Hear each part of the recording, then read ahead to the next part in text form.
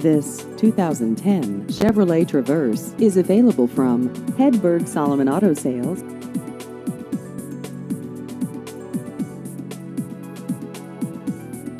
This vehicle has just over 112,000 miles.